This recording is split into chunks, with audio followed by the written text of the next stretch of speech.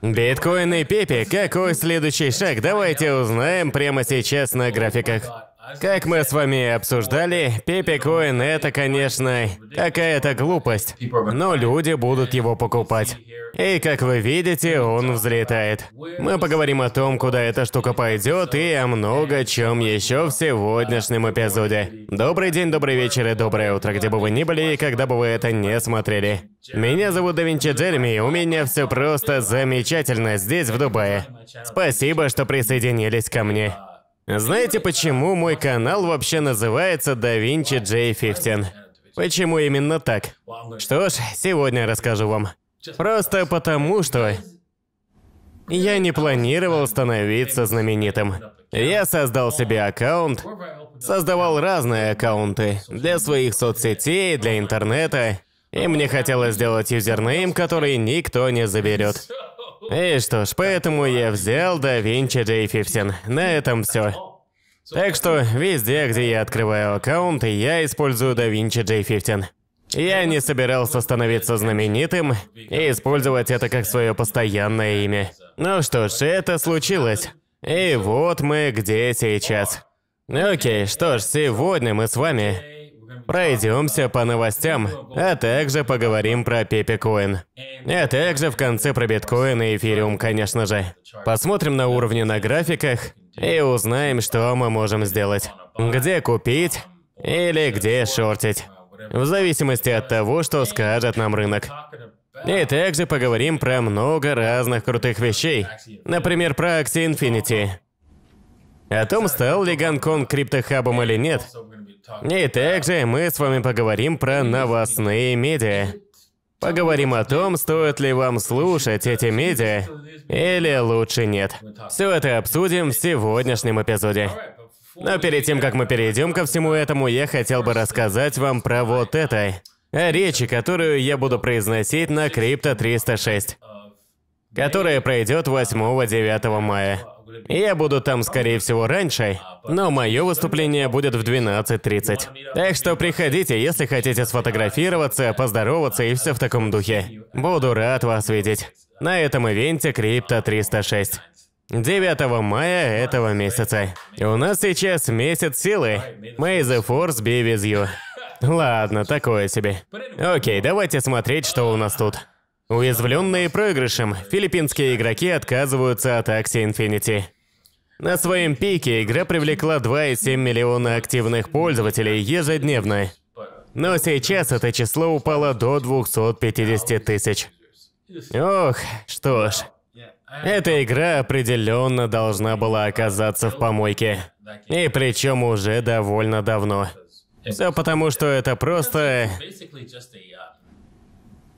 Майнинг внутриигровых токенов с помощью кликания. И в этом вся суть игры. Больше ничего эта игра из себя не представляла. Так что да, теперь у нее все плохо. В эту игру не было весело играть, это была просто работа. Люди ее именно так и воспринимали. Просто майнили токены, а их ценность упала. Это, конечно, грустно, но все-таки это была первая интеграция Play to Earn. Ну и что ж, все пошло не по плану. Очевидно. Люди обязательно обучатся на примере Axie Infinity, на их провале, и создадут игру гораздо лучше. Так что да, ждите этого.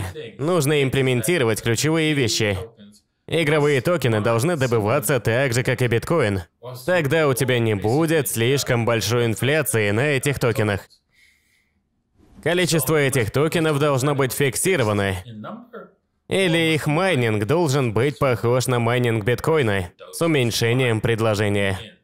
Тогда вы будете знать, что эти токены будут иметь ценность в долгосрочной перспективе. Определенные токены определенной игры. Ну и, конечно же, сама игра должна быть веселой. Она должна быть динамичной. Таким образом, она будет всегда расширяться. Это ключевые вещи, которые должны быть в любой игре.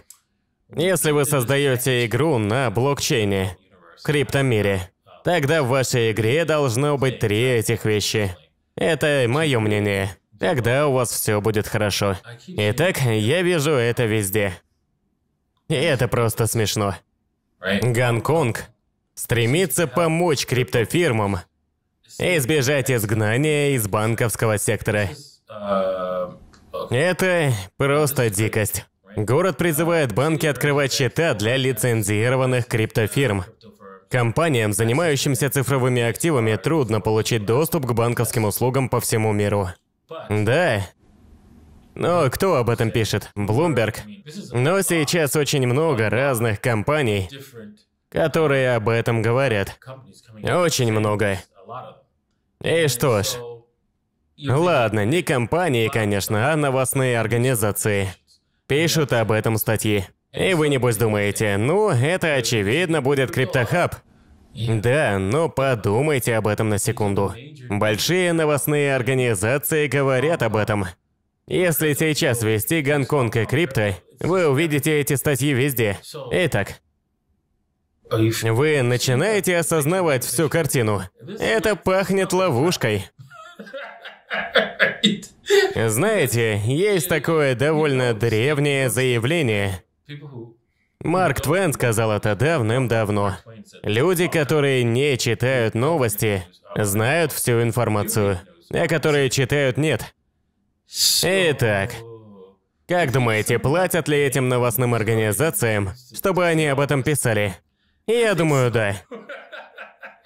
И что ж, поскольку Гонконг находится около Китая, принадлежит по сути Китаю, звучит это как ловушка. И когда там появится много компаний, криптокомпании попадут под их юрисдикцию, будут следовать их правилам. Они могут сделать следующее. Да, знаете, у нас нет больше денег.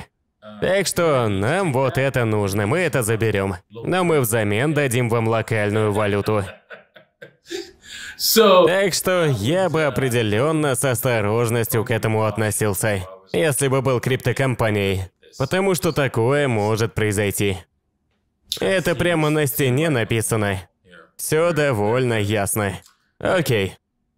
31% новых покупателей криптовалют сделали это из-за влияния друзей. Вот почему это может быть ужасной идеей. Окей, что ж. Опять же, CNBC. Воспринимайте это с осторожностью. Эти люди делают все для тех, кто им платит. И это не вы. Еще раз. Эти люди говорят все, что им скажут те, кто им платят. И это не вы. Так что они не заинтересованы в служении вам. Они служат банкам. Так что все, о чем они говорят, это чья-то повестка. Ясненько? Окей.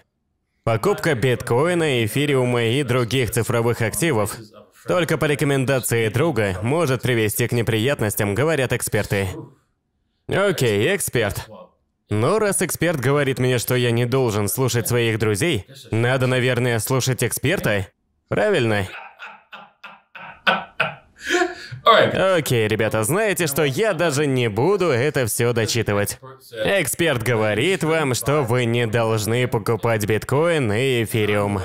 А я вот не эксперт. Я просто купил биткоин, когда он стоил доллар. Купил эфириум, когда он даже не был доступен. Ну да, я не эксперт. Вот лучше послушайте реального эксперта. И не покупайте ни биткоин, ни эфириум. Просто выключите это видео. Послушайте CNBC.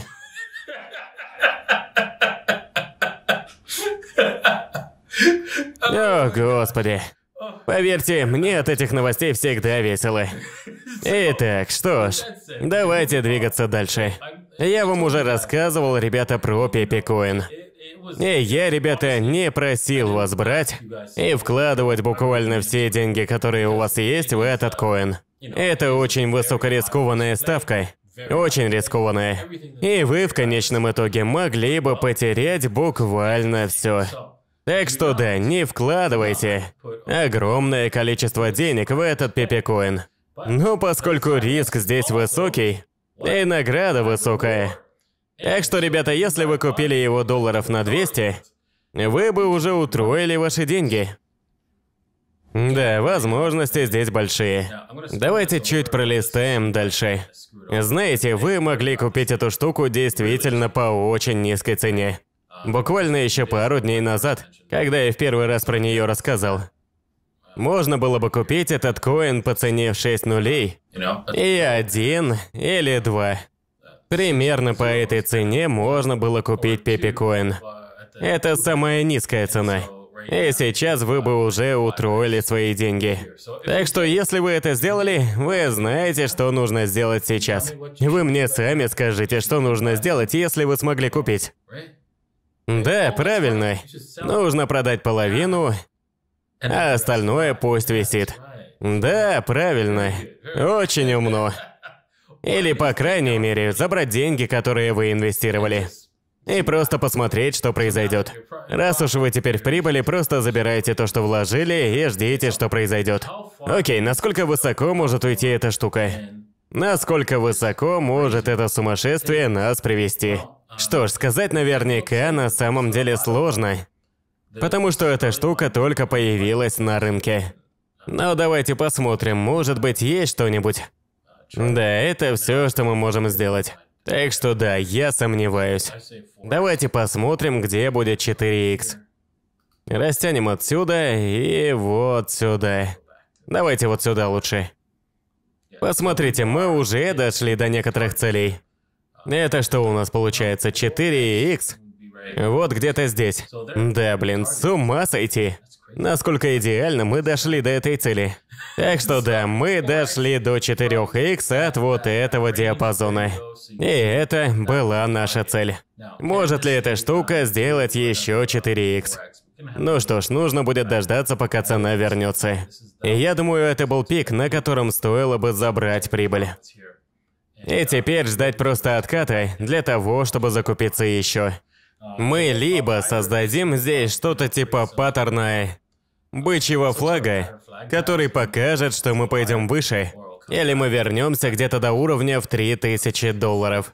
3-4, возможно, где-то так. Перед тем, как уже пойдем выше. Это будет самое то для покупки. Так что надо будет посмотреть, как отыграют эти графики. Здесь наверху стоит только продавать, покупать точно не стоит. Больше ничего не делать, только продавать. Если вы купите здесь, приблизьтесь к экрану. Отлично тебе. Не покупай ты здесь. Нельзя покупать так высоко. Что с тобой не так? Подожди, когда цена откатится. А если заинтересованы в покупке, Тогда вкладывайте только совсем небольшое количество денег в этот пепикоин. Потому что он может упасть в любой момент и все вам заруинить. Итак, давайте посмотрим уже на этот график. Это у нас биткоин. Давайте посмотрим, что там с ним сейчас происходит. Это самое худшее, что может быть. Такое боковое движение на биткоине – это ужасно. У нас здесь была свеча доджи, что означает нерешительность. Затем мы взлетели выше, думали, что пойдем еще выше, и в итоге откатились вниз. Когда я смотрел на это в воскресенье, решил посмотреть, потому что получил твит от Карла. Посмотрел и сказал, нет, это долго не продлится, потому что это воскресенье. Биткоин любит выкидывать детишек в воскресенье. Так что все развернулось. Извиняюсь, ребята из группы, я не стал ничего выкладывать и ни о чем не рассказал. Но да, было очевидно то, что это движение не пойдет дальше. То, что это нереальный пробой. Я не выставлял никаких трейдов, но когда я это увидел, для меня было очевидно. То, что сейчас время искать шорт. И посмотрите, можно было даже два шорта выставить за счет этого М-паттерна. И скорее всего мы уже даже на цели от этого паттерна. К тому же там у нас уровень поддержки. Давайте измерим цель и посмотрим. Вот так вот. Перетаскиваем вниз. Вот так. Ну, не идеально, конечно, но близко. Довольно близко к цели. Так что да, вот такая у нас цель. И что ж, сейчас нам нужно просто ждать еще одного сигнала. Перед тем, как выставить какой-либо трейд. Прямо сейчас он просто консолидируется и пытается решить, в какую сторону он пойдет. Пойдет ли он на ретест этой области? Скорее всего, нет. Все потому, что слишком уж много раз мы не могли пробиться через этот уровень. Так что есть шансы на то, что мы не поднимемся до этой восходящей линии тренда. И, скорее всего, просто пробьемся вниз. Но надо будет смотреть. Потому что биткоин сейчас очень хаотичный. Окей, давайте перейдем на эфириум. Я не знаю, что происходит. Это что вообще? Перед тем, как запрыгнуть? Это что вообще? Не знаю, может кто-то взломал меня. Итак, эфириум, как вы видите, опустился до своей поддержки. У меня есть и получше график. Давайте посмотрим, смогу ли я его сейчас загрузить. Кажется, нет. Ну да ладно. На этом графике у меня также указаны поддержка и сопротивление, которые были нарисованы еще давным-давно. Вот посмотрите, здесь у нас сопротивление, от которого мы отскочили. И мы сейчас скачем между этими уровнями. Это у нас не сопротивление уже, это уже поддержкой. Давайте уберем. Вот тут вот у нас есть поддержка гораздо сильнее, от которой мы как раз таки и отскакиваем. Будем идти в этом диапазоне, пока не решим, куда пойдем дальше. Это у нас на эфириуме. Конечно, можно торговать на этом диапазоне, но, блин, это очень сложно. Нужно будет идти на небольшие временные промежутки и смотреть, что там происходит. Искать какого-то четкого сигнала, ослабления для того, чтобы зайти в трейд. Так что да, будем ждать какого-то сигнала на эфириуме, который сейчас застрял внутри этого диапазона, между уровнями в 1943 и 1817. Получается вот такой диапазон примерно. Эфириум в нем сейчас застрял. И пробитие в любом направлении будет означать большое движение. Пробьемся наверх, выше 1943. Можем уйти на пару сотен выше. Уйдем ниже 1817, тогда можем пробиться как минимум до уровня в 1762. А скорее всего даже уйдем ниже. Давайте посмотрим даже, на какой уровень стоит смотреть. Где у нас есть следующая поддержка? 1762. И ниже получается уровень уже примерно в 1700 долларов. Где-то в районе 1700 долларов. Это в случае, если мы пробьемся ниже. Поддержки в 1817. Окей, что ж, на этом все на сегодня. Надеюсь, вам понравилось сегодняшнее видео. Я сейчас попытаюсь пофиксить проблемы, которые резко у меня появились с другим компьютером. Ну что ж, да, не всегда все работает так, как хочешь. И сейчас мне было даже проблематично запустить это шоу. Но я рад, что у меня получилось, и мы с вами увидимся завтра.